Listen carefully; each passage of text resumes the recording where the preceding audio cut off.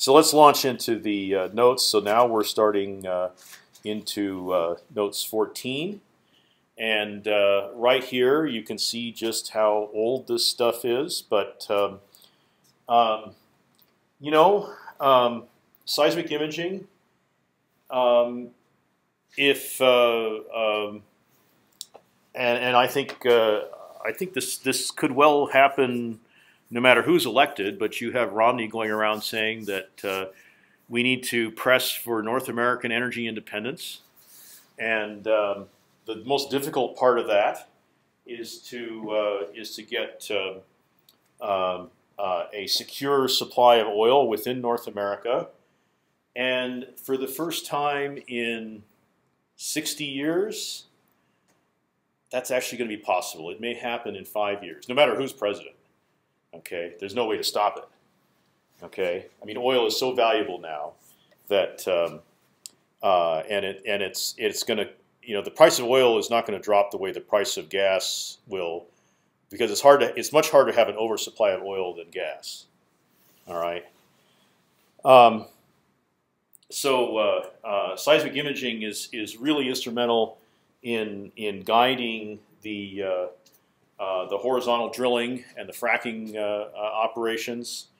Um, I, I, mean, that's you know those are the the horizontal drilling and fracking. That's that's the transformative technology that is going to bring us um, North American oil security. Okay, we won't have to import any oil. Um, I, I predict in five years.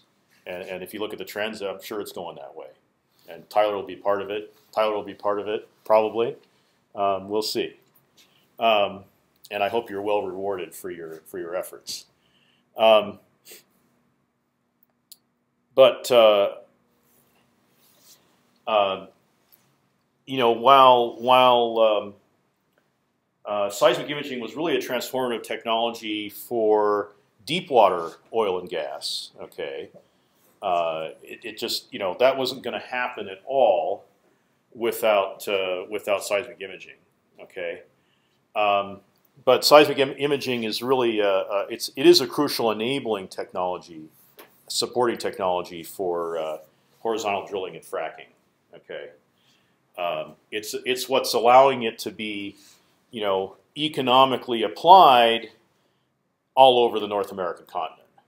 Okay, um, so uh, we uh, um, we're going to have this, uh, you know, kind of millennial development um, of uh, of North America's oil supply um, happening in the next few years because of seismic imaging. Okay, so I think you know people should learn about seismic imaging um, in kindergarten and maybe 88 is before you were in kindergarten, but um, I really think that uh, um, the uh, the age of these notes is, uh, um, you know, they're they're not they're actually the subject matter, and maybe even a lot of the stuff that I have, you know, in these old notes, it's um, it's not outdated. It's in fact the linchpin of our of our uh, energy security right now. Okay, so uh, I'm not going to apologize for the for how old they are. They're too fundamental. They're too important. All right. So um, uh, again, you know, back to basics. All right. Uh, we'll we'll do we'll do some arm waving first before we get into the you know back into the equations. All right. Let's consider a geological process operating out of sight below the surface. All right. And uh, you know, I did a lot of early work on um, you know what we're now calling continental architecture. You know what's what's the history? What's the structure? You know how did pieces of the North American continent develop? Um, you know what is the structure through the crust? What's the structure of the lithosphere? Uh, I've I've done quite a bit of work in that area. All right, and um, of course a uh, this geological process that's operating out of sight can produce a mineral resource. And we're seeing seismic imaging, you know, today being applied to gold, to gas, to oil, to geothermal. Um, yeah, and some of the ideas even are applied in uh, geotechnical engineering, which Uh, for instance, I've gotten um, royalties from my um, uh, refraction microtremor development when a, um, a geotechnical company has bought a license for the REMI software to be able to go out and um, you know plan foundations for uh, wind towers and and foundations for the pedestals that the that the solar uh, arrays uh, sit on. You know, and if that if the foundation is is not properly planned, then you know, and the pedestal leans by one degree, then the whole thing's off. You know, it's all uh, it's all a big problem. Um, and if you have uh, wind towers that uh, are you know they're vibrating with such force that they um, um, you know that they could easily cause failure of the uh, of the soil uh, around their foundations if they're not properly done. So uh, you know some of the ideas in here, um, like the slant stack that you'll hear about, um, have uh, have also have been a help across every every energy and mineral sector. Okay. All right. So so again, considering mineral resources and and for the moment consider geothermal to be a uh, a mineral resource. You know, hot brine, basically a a mineral. Um, well, not technically, but but very much like a mineral resource. All right. What what information um, is going to help you characterize it? And so I've talked a lot about geometric form. We've talked about the the crater versus salt dome example and how just the pure geometry uh, can help you. All right, and um, you know if you're going to horizontally drill into uh, into a shale formation and frack it, first you got to know you got to know where that where that shale is, and you want to you want to go in the straight. I, I, don't know exactly what you do, but I, I would think the first assumption would be you're going to go in the straight and narrow right down the middle of the shale layer. Okay. Um, and so you got to be able to follow it. You got to know where it is. Okay, you got to know where its upper and lower boundaries are. You got to know if it's faulted away. Okay, geometric form. There's also, of course, lithology. Okay, you want to be able to distinguish the shales from the sands. Uh, you know, first of all. Okay, and um, and that's very lithology is extremely helpful, uh, but at least for what we'll cover in this class, it's uh, we can get a lot more information about geometry than we can about lithology. All right. So so you know geometric info alone has worked and it is still working for the oil industry. And geometric info alone is helpful. It's not everything we need, but by any means, but it's it's helpful in the deep crust for continental architecture as well.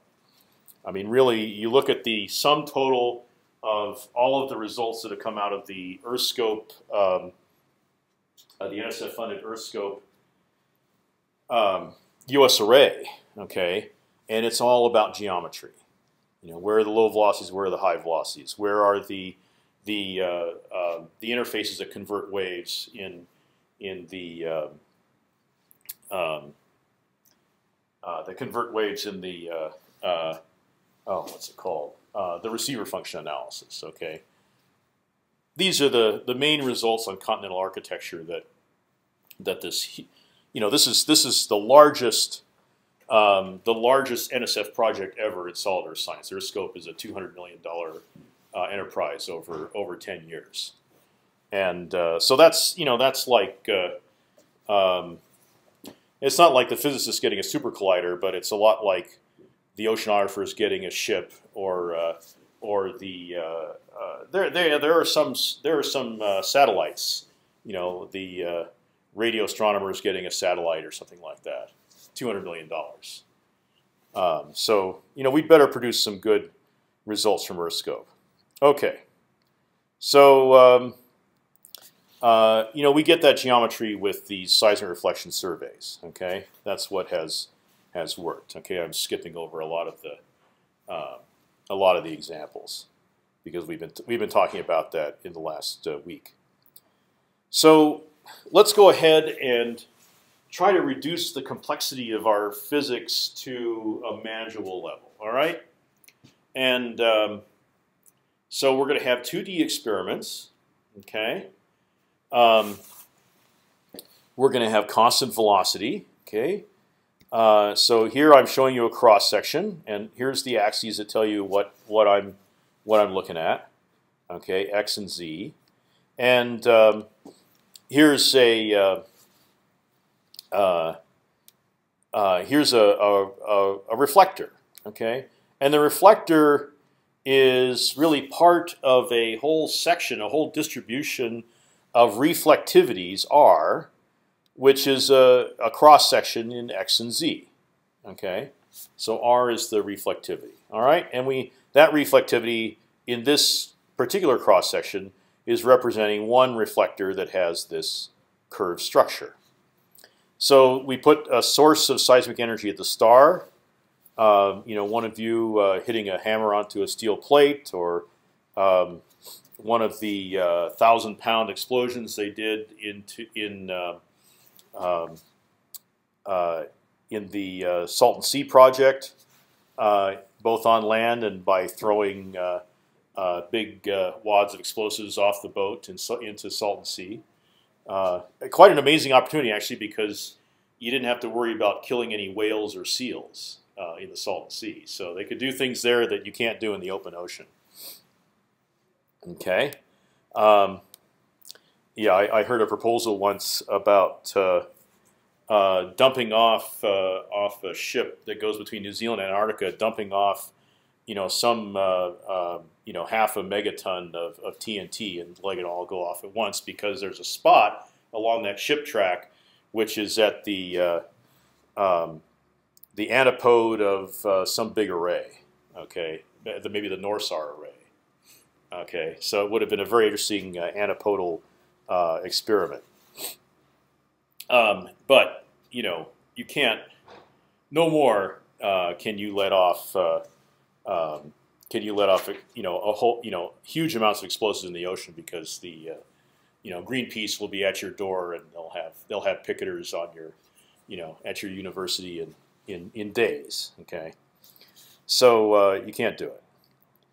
Um, so that source, uh, you know, is is actually radiating seismic energy in all directions. Okay, but we can trace the paths through this constant velocity medium. Okay, uh, to each of these receivers. Okay, and um, and and as it should, it it it this ray of of you know which is basically following one little packet of seismic energy. Okay, this ray is is going down to the reflector it's uh, it's experiencing uh, you know equal angle of incidence to reflection, and it's the one that goes back up to the uh, to the receiver. All right, and as you are looking at further and further receivers, right, you're you're looking at you know larger angles and as well as different reflection points. Um, the uh, uh, the idea of the 2D experiment is um, um, is based on an assumption of uh, you know why could a 2D experiment ever approximate our 3D experiments? All right, it's based on an assumption of cylindrical symmetry. Okay, basically 2D, the, our 2D math can represent our real 3D world pretty well when we have this so-called cylindrical symmetry. What does that mean?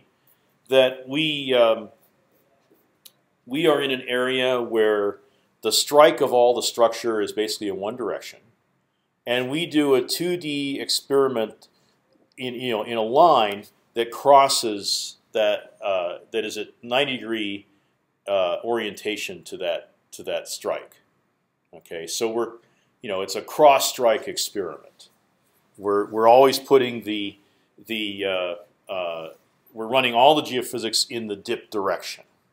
Okay, and and for the seismic especially that that can work very well. So you know if you're if you're at the margin of a uh, you know you you you go uh, northeast of the Walker Lane, you're in the margin of one of these you know beautiful uh, uh north-south trending valleys in uh, in the middle of Nevada, right? You're going to run east-west surveys because that's going to be you know those those those long valleys, you know like Big Smoky Valley. Um, you know, they really do work quite well uh, uh, with this cylindrical symmetry. They're very, uh, you know, long and narrow, and that's perfect. Okay, So um, you know, a lot of assumptions here, but maybe ones that are not, you know, yeah, we we're there's very few cases where we can really deal with, you know, we can really accept this constant velocity assumption, but um, you know, we, we're going to have to work pretty hard to get beyond it. So let's let's first start with it and see how far we can get. Okay. So and and uh, the other thing is about uh, you know what are the what what what are the physical parameters of the of the medium? Okay, now we're just concerned about you know p wave seismics here, uh, and in fact acoustic seismics. We're going to make everything fit to the acoustic wave equation. So we're going to assume that there is only one velocity, okay, and it's constant, all right, and that's going to be the p wave velocity, and and that's that's half of the medium parameters. The only other the only other medium parameter is this reflectivity. Okay, and and I'll have a discussion later with you about about you know what what can produce reflectivity in the in the presence of constant velocity, and and then what do we really have in the Earth you know that looks like this, okay, but especially for uh, marine surveys and and you know lake bed chirp like like Amy Eisses' uh, thesis and what Gretchen's working on right now, um, it's it's pretty good. You know, it's not bad at all. All right. Now for you know for surveying over a geothermal uh, resource, uh, you know, like Astor Pass, you know, on land, it's terrible. You know, this is uh, you can explain, you know, maybe five percent of the energy in the data with with this model. All right, but for the chirp survey, you got like 95% of the amplitude in the data comes you could you could explain as coming from these very simple media parameters: constant velocity and a reflectivity section. And I want you to think of the reflectivity section, which is you know r of x and z. Uh, it's a function which is which is mostly zero. You know, in most of the cross section, it's zero. You know, because there aren't discontinuities everywhere. All right, so we're not talking about fractal geology here. Okay, which is another way you know that I've gone way beyond this. All right. Um, there's, you know, we have a limited number of discontinuities. You know, there's only so many reflectors in the section, at least so many that we we care about. Okay, and those are the ones that we're going to mark. You know, it's it's as if uh, you know um, uh, I told Tyler, look, uh, okay, we've got we've got the uh, the mudstone at at Soda Lake, we've got the top of the basalt, and and maybe you know find a couple of other uh, reflectors you know in your section that that seem to generate you know high amplitudes consistently, but that's it. Okay, Every, the the reflectivity section is zero except it's the reflection coefficient uh, at those four uh, interfaces, and that's it. Very simple. Okay, but notice that that the reflectivity section is allowed to take it is allowed to take any, you know, any value anywhere in the section. Okay. Um, well, any value that's a reasonable reflection coefficient, which can be negative, of course. Um, so, so you can have any dip, you know, any complicated geometry of those, um, of those of those interfaces. Okay, and so you know, uh, maybe Tyler is is focused around just one reflector. Okay, which which has you know which appears at each place. It only appears once. Okay, each location it appears at some depth, but that depth map you know can do anything. All right, and that's where you're getting your information about about tectonics because you can put faults in it. You know, you can have very steep faults. You can um, uh, you know, you can have dips, you can have curvature of that reflector. You know, that's that's what you're trying to map out. Okay, so so for that problem in, in Tyler's thesis, you know this this uh, uh, this could also work. Uh, we're, we can't so easily use constant velocity, but this simple reflectivity function, reflectivity section will work too. Okay. Um, another thing that that we're assuming is that our receivers, and and here this is really applicable mostly to uh, hydrophones um, you know, not even so much to the chirp fish and its uh, its receiver geometry, but there's no directional tuning. Our our receivers are are sensitive are equally sensitive to waves coming from every direction. Okay, and that you know classic hydrophones that's true. But once we start to you know make our our sources and receivers into arrays, well, the reason we have arrays is to is to directionally tune and not see you know waves that are propagating horizontally by our uh, um, by our, our our receiver array. We want to get those waves that are coming up from as reflections from deep and hitting flat onto our our receiver array. All right, so but we're going to ignore that issue for uh, uh, quite a while here. Okay, now, uh, so in general, you know, we can make these assumptions if we uh, if we think about having primary subcritical reflections only. Okay, we're going to ignore multiples. We're going to ignore surface waves. We're going to ignore direct waves, you know, which were in all these things that that I've, all these examples I've shown you, even in the synthetics. We're going to ignore converted phases, you know, P to S, S to P, um, P to R, you know, Rayleigh, Rayleigh to S, you know, that all happens, but uh, uh, but we're going to ignore it. Okay, and and uh, what that means is that you know traditionally we've tried to process those out of the data records, and just leave the refract the reflections. Okay, so you know there's there's there's a huge literature on how to do this. You know, on, to take your your dirty, noisy, um, you know, land data and get rid of all those converted phases and all the all the surface waves and everything else except the p wave reflections. Okay, a lot of lot of work, uh, a lot of energy expended on on doing that. And then also we have an acoustic medium, so that's why our assumptions work so well in lakes and seas. Okay, because it's you know in that fluid bottom, you know, fluid saturated muddy bottom of the lake, it's still a fluid, it's still an acoustic medium.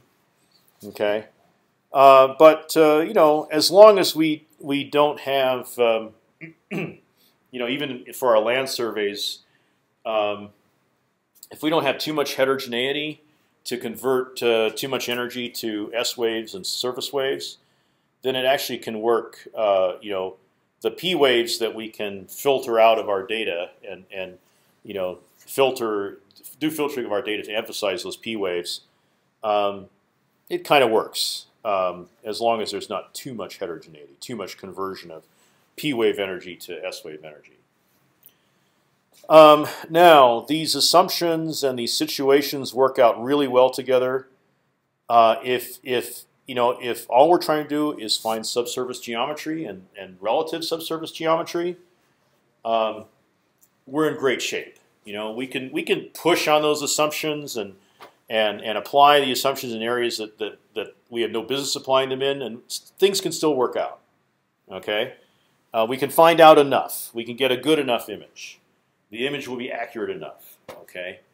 Um, but if we're worried about getting uh, more than geometry, if we want to get uh, lithology, okay, then these these assumptions are are are a disaster. Okay, we got to go to you know full waveform, uh, full elastic, you know full heterogeneity. Um, you know we're we're gonna we we got to not only um, accept the surface waves, we got to make use of them, you know, and and take that whole wave field and and use it all. Okay, that's you know, and and that's called seismic inversion. Um, you know, looking at at the whole messy wave field and being able to explain it physically, and we can do that now. We can model the whole dirty wave field.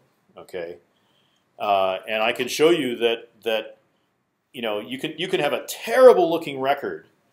Um, you know, just shot through with all kinds of confusing phases, uh, and um, and and yet, you know, um, every one of those is is some kind of identifiable wave.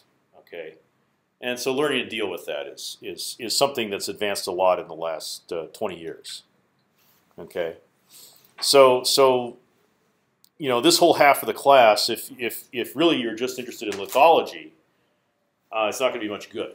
Okay, you gotta you gotta go to that advanced, you know, wave field uh, tomography and inversion um, approach. Okay, um, but but actually, um, this half of the class will do you some good, along with the last, along with the first half of the class. It'll do you some good because actually it turns out that we we start our full wave field inversions actually with migration. Migration is a part. It's like step zero. Okay, it's how you it's how you get out. You know, that's how you pass go. Is you start with a migration. Okay, and then you do a lot more. But but you got to start with what I'm going to teach you right now. Okay. Um, so so here's a, an example of a, of a data data set that that looks ter terribly terrifyingly noisy. Okay, um, but uh, the uh, the thing is, um, it's not noise. It's not white noise. It's not thermal noise. It's not wind noise. It's all it's all of the the apparent noise in this data set is is real waves from something.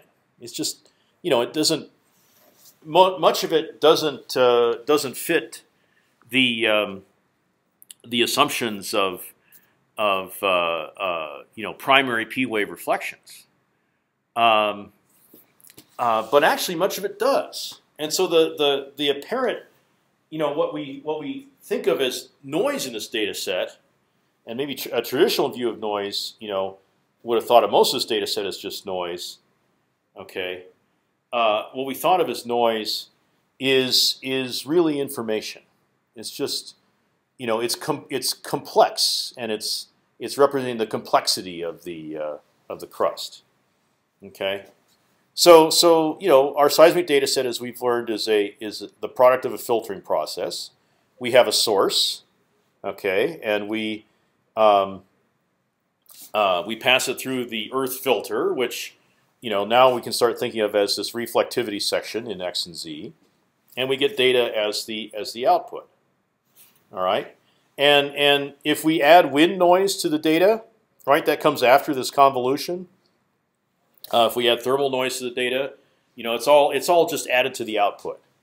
Okay, and it would be uh, it would be uncorrelated in time. Okay. So uh, you know we have um, uh, the source uh, convolved with the uh, reflectivity section, you know, which somehow I'm I'm I'm able to convolve it after I somehow reduce it to to a time series. And then we add, you know, this, we just have additive noise, and that gives us our data series. Okay, uh, and you know, the classic thing is that uh, and is random noise is not reproducible over time. All right, but here's a survey from 1962, uh, which is just barely after I was born, so it's a long time ago. Um, and uh, my actually one of the first projects I did uh, at Caltech when I was a grad student there was I uh, recovered this data off the magnetic drums and and put it in uh, essentially in the SEG-Y format. Uh, so I could actually uh, I, I, I couldn't even plot it until I did that. Um, so and we actually uh, had to use the the magnetic drum recorder from you know from the late 50s to to do that, and they they still had it in their junk room, you know, and it still worked, which was really amazing. So um, here's here's that section.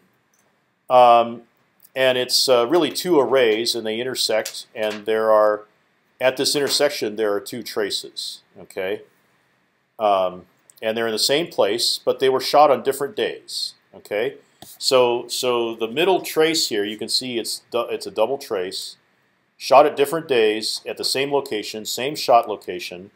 Okay, and you can see that that most of it is perfectly coherent from one day to the next it's correlated over time and actually correlated very well. Okay, you know maybe maybe five or ten percent of it is uncorrelated with with time. Okay, so what this means is that um, you know since the reflectivity section is constant over time, it's also got to be complex. All right. So now we can still allow that, and I'll talk to you about how how we can allow that. All right. Good. So we are looking at a data set. Um, it's a seismic reflection data set recorded in like 1966 in the Mojave Desert of Southern California. And it was one of the earlier experiments to look and see how, how deep the seismic reflection technique could be used. And so uh, here we see reflections um, you know, apparently coherent from trace to trace over this relatively small array, um, which is three kilometers long in total, and in, in two different directions, uh, meeting at the, the thick black line in the and on the middle left. So um, I guess it was 1965 he did the experiments. Um, and he actually published them too in, uh, in geophysics way back when.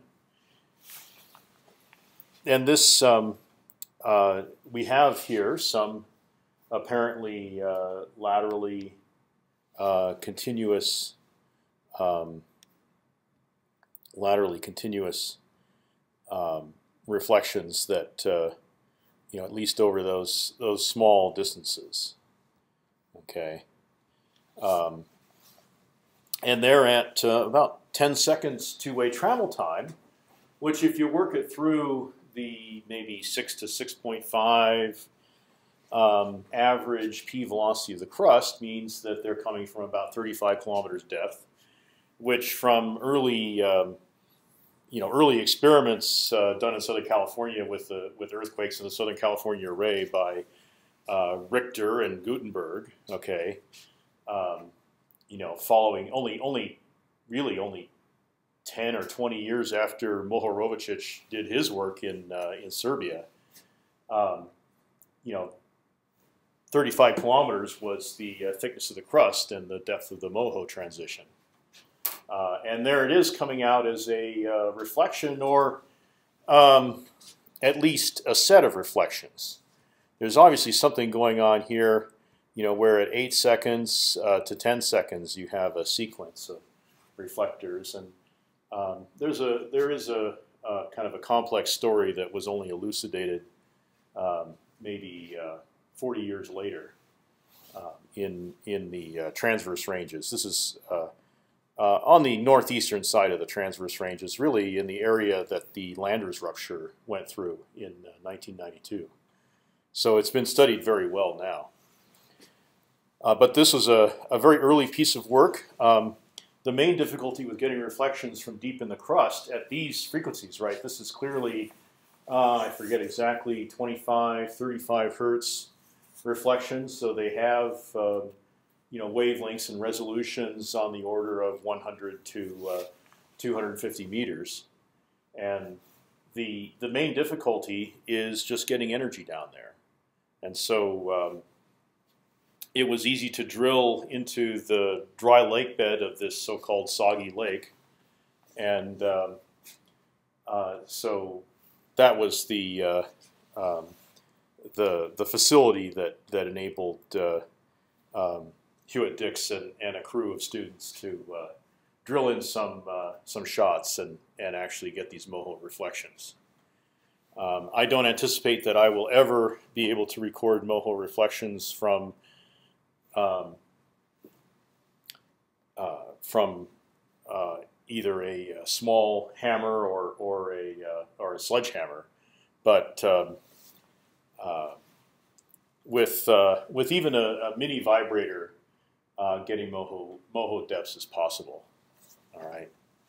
Now, what's spectacular about this um, this record is is this fact that there isn't just one moho reflection, and maybe you know 50 years ago we would have called this a Conrad reflection. You know, between the the uh, felsic upper crust and the mafic lower crust.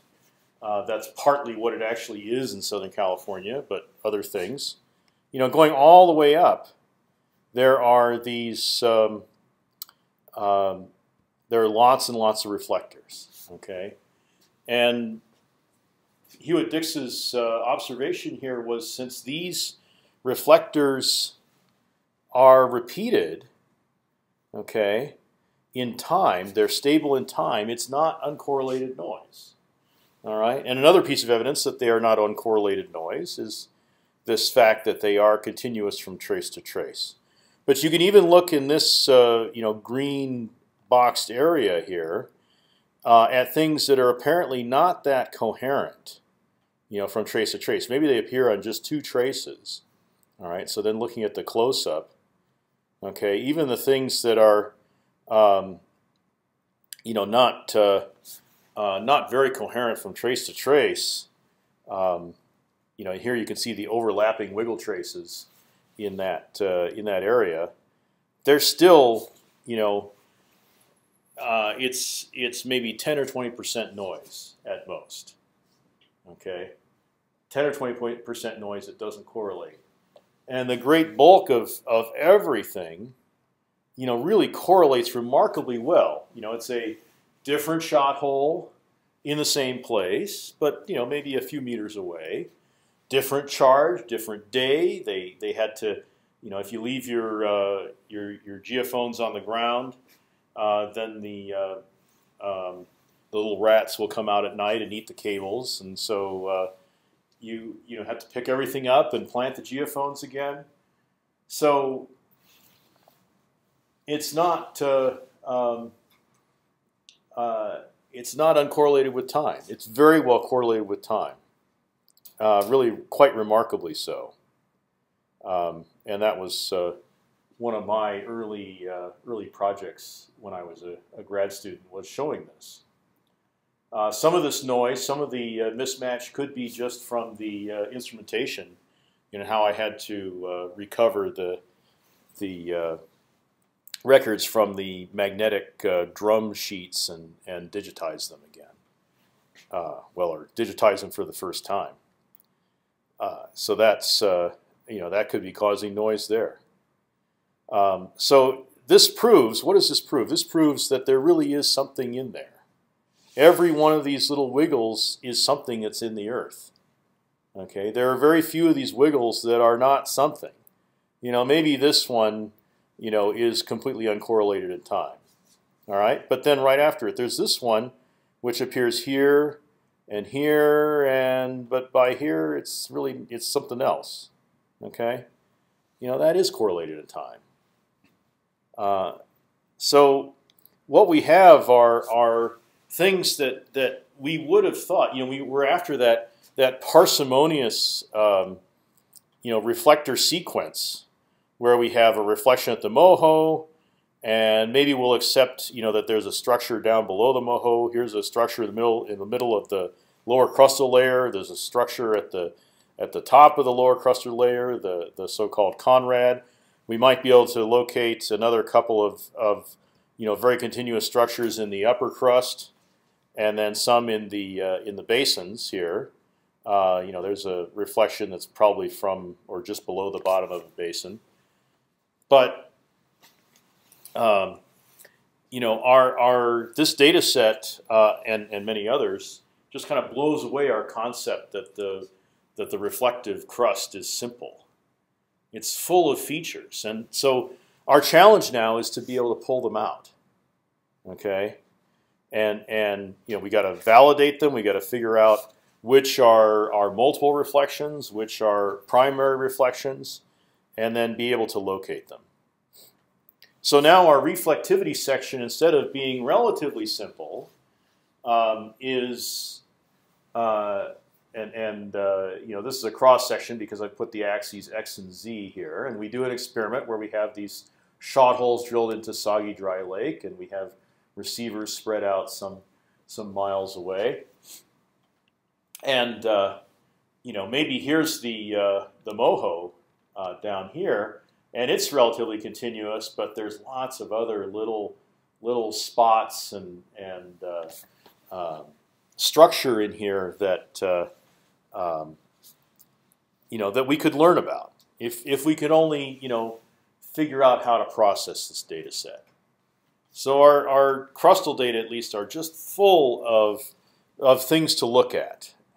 All right, and our reflectivity section uh, you know, r of x and z, that's supposed to be a z there, um, is uh, um, is not as simple as we want, but that means that that just by being able to correctly geometrically locate each of these little reflectors, we'll get a lot of information about what those reflections could be. And I showed you earlier some examples of that. Okay, so it's complex, but it still meets our, our assumptions, right? We have, uh, you know, this reflectivity section is zero, you know, in a lot of places, and it's kind of spiky in others. You know, where we're on a reflecting interface, it's spiky. and the uh, the size of the spike, the height of the spike is is um, proportional to the reflection coefficient. So it still meets our assumptions. We could still have pretty much a, a constant velocity view here. Okay, so we have you know hope even under these restrictive and simple assumptions of resolving some some interesting structure and and learning some interesting things about geology here. Okay.